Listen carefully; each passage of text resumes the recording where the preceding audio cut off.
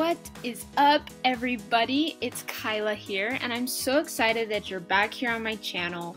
Welcome. If you're new, I'm so excited to have you. And today, this is going to be for all my funnel builders, my funnel hackers out there who want to do cool stuff within their ClickFunnels account and with their pages, but just aren't sure what to use. So this is definitely more advanced. We're going to be going into some coding here. So if that's something you're looking for, then just keep watching. So today we're going to be learning, I'm going to be showing you how to do this. So this is a picture of one of the pages I built for my clients.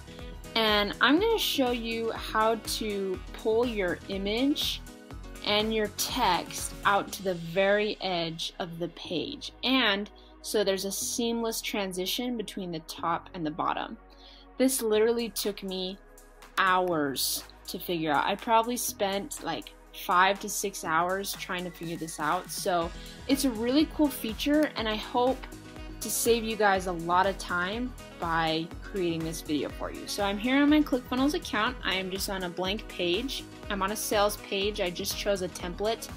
And uh, what I tend to do nowadays is just scratch everything within the template and work from scratch because I find I do better that way. But I've got two sections here. I'm going to be working with this bottom section right here. So first off, what I'm going to do is I'm going to add a two column row to this section. So the image is going to go here on the right. Let's wait as it loads. There we go. So we'll add the image there, and then on this side, we'll go ahead and add our headline, and we'll add a little sub headline, and obviously you can customize this to whatever you need. I'm also gonna add a button here. Next, what I'm gonna do is I'm gonna add a background onto this section. So I'm gonna go here, I'm just gonna select this back black background. Jeez, I can't even speak. Black background that I've chosen. Boom, and it shows up. And we can't really see this text, so I'm going to change that font to white instead of dark. So let's change that there. And let's change this one to white as well, just so we can see it.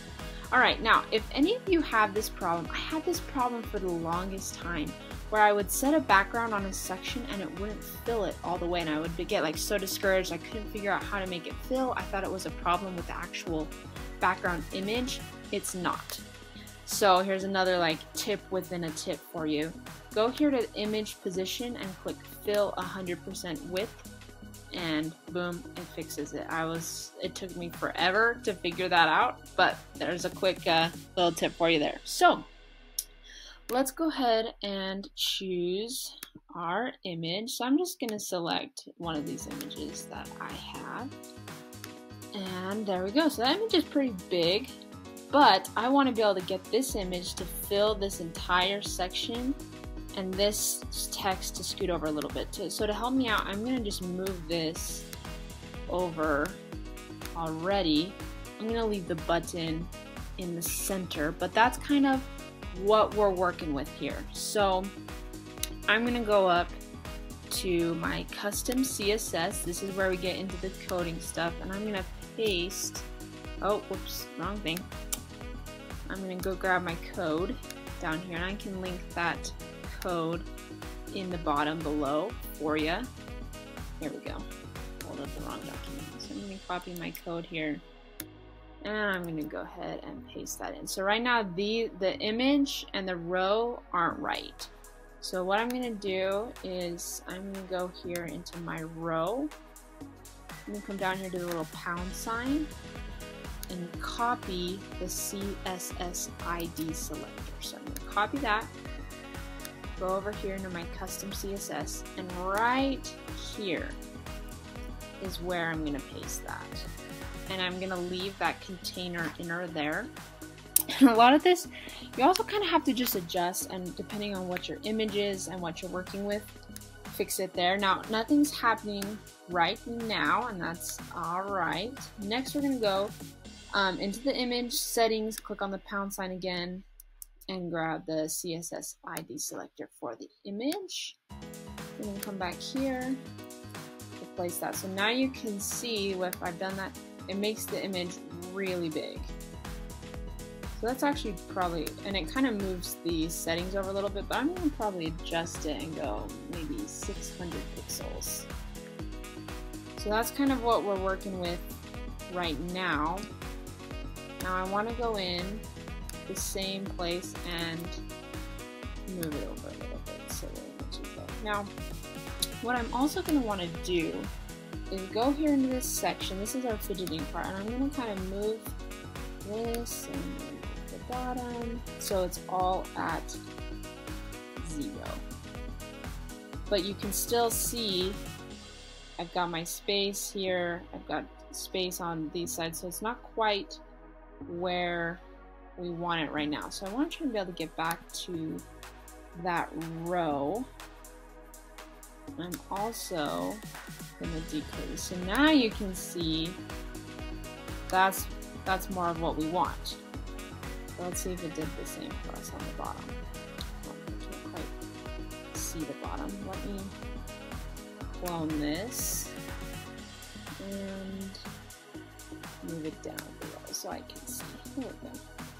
Alright, so perfect. So you can see now we've created like that seamless look on both sides, but this text does still doesn't look quite right. So I'm gonna come up here I'm to click on settings I'm just kind of mess with this top margin here for a little bit and move it down so it's a little bit more in the center. I'm okay with that space there. Now if I wanted um, there to be less space, I could try and make this image a little bit smaller. So let's see what happens if I make it like 400 pixels. Okay, so that's still pretty small. Let me, that's probably a little little too small.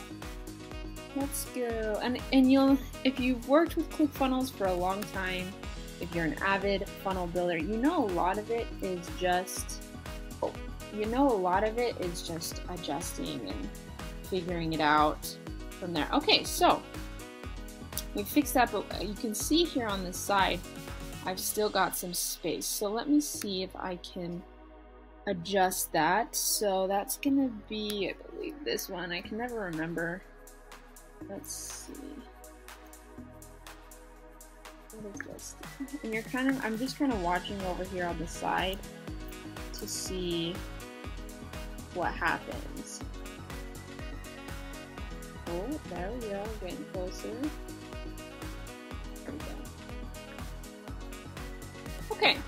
So now I save it and we can preview it to make sure it looks like we want it to. So I go ahead, I preview it, it opens it up in a new tab, so we're just gonna wait for it to look for us. Okay, and there we go. Now it shows up, you can see the image and the background and the text fill the whole page, which is super cool. I probably would go back and move this button over to the left a little bit, but that's a great lesson. Like, no matter what you're doing, whether you're working on the editing page, always preview it and make sure it's looking the way you want it to look. So I was like, oh, I didn't really like that position of the button. So I can go over and what the, how do I, I can't remember how I move it over. Hold on one sec, let's figure this out.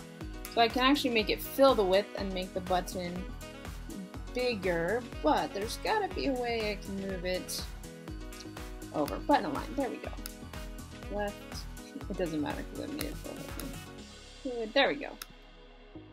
So that's how you create the picture and the text full width in a section in ClickFunnels. If you guys have any questions, feel free to let me know in the comments below. And I would love to know if this video helped you, how many hours it possibly saved you. Let me know in the comments down below. I love your feedback. I love your questions and would love to hear from you guys.